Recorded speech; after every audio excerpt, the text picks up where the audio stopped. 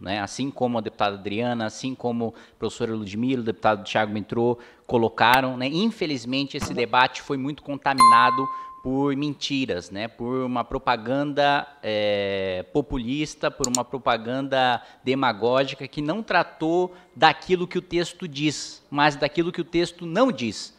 O texto foi mais criticado por aquilo que não diz do que por aquilo que diz. Né? E eu acho que esse é um primeiro ponto. Né? As pessoas devem, para criticar, inclusive, né? porque o político está aqui para ser criticado também, para prestar contas, é, inclusive sobre seus textos, sobre seus relatórios. Agora, isso precisa ser feito com embasamento em fatos, nos textos, né? no que está de fato escrito.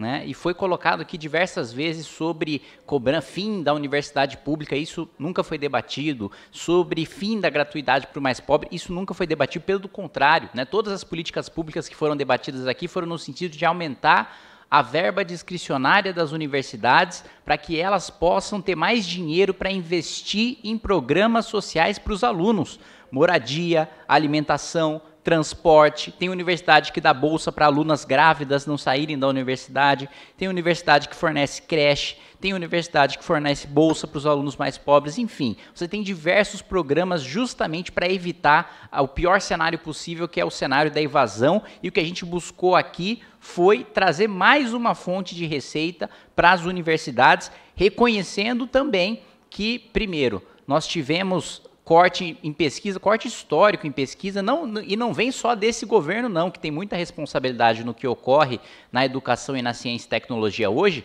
mas governos passados também. Acho que em 11 anos, salvo engano, eu tenho dado aqui, em 11 anos o orçamento do MEC né, para as universidades federais caiu 37%.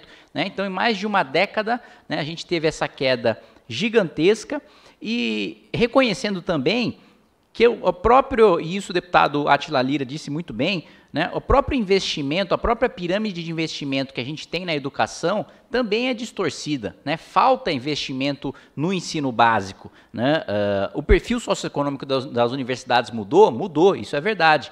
Mas uh, ainda continua né, em, em universidades e em cursos né, como engenharia ou medicina na USP, a maioria continua sendo né, de gente, é, é, não de quem recebe menos do que um salário mínimo e meio. Né, diferente de cursos como geografia ou história, que você teve uma mudança mais significativa de perfil socioeconômico, nos cursos mais competidos você ainda tem uma desigualdade de renda é, muito grande. E no próprio investimento público brasileiro, né, o Brasil é, é, o país com a maior disparidade no, no, investimento público no ensino superior em relação a investimento na educação básica. Né? O último cálculo mostra aí de 3,7 vezes mais com cada universitário em relação às despesas dos alunos da educação básica. É claro que um aluno universitário custa mais do que um aluno da educação básica, mas a distorção brasileira é muito grande em relação à média de outros países. Né? Foi citado a OCDE, a média da OCDE é de 1,6, a gente está em 3,7, a gente está começando a construir, como eu costumo dizer,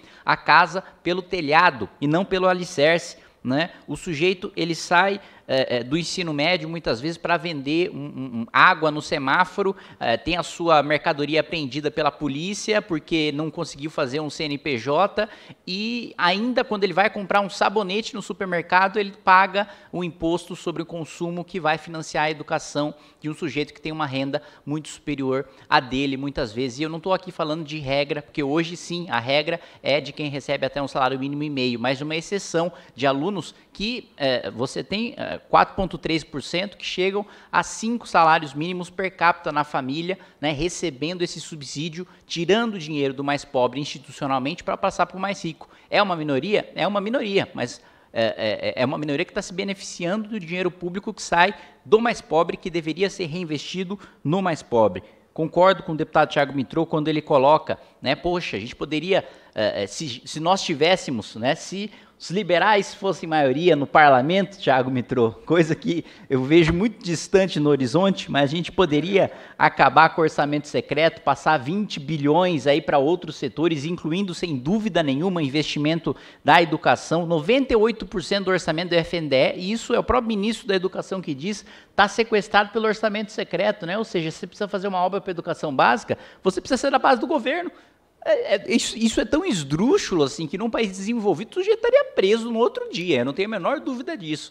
Né? É, é, é, é um, um, um, um, sequestro do orçamento né? que, inclusive nos Estados Unidos, tem um apelido né? chamado barril de porco né, quando um parlamentar ele faz uma emenda ao orçamento para beneficiar a sua base eleitoral. Nós chamamos de barril de porco de maneira pejorativa, né, essa prática do sequestro do orçamento é, do parlamento em relação a, ao executivo, que infelizmente no nosso caso teve a anuência e teve a articulação do próprio executivo, né, do próprio governo.